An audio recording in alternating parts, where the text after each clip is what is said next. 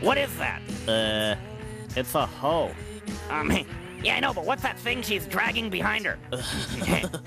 oh, um, why is that funny? Because, Beavis, you thought when I said a hoe that I was talking about the chick, but I was talking about the hoe. Okay, but, but why is that funny? Damn it, Beavis. Because, like, when a word means two things like that, it's pretty funny. I'll be damned. I didn't know that. You know, it's like choking your chicken.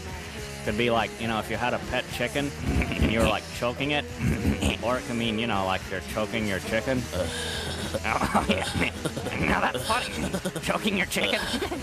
that's pretty funny. yeah, I, I get that one. Okay, okay. I got one. Masturbating. That doesn't work, Beavis. Yeah, it does. I do it all the time.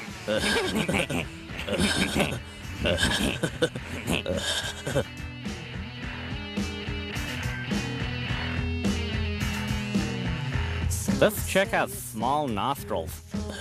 Yeah, well, um, I think anybody's nostrils would look small to you, butthead. you look like a cow. Uh, well, I may have big nostrils, but you know what that means. Uh, oh, yeah. it means you have lots of loogie. uh, okay, Beavis. You'll be thinking about loogies, and I'll be slapping around my gigantic schlong.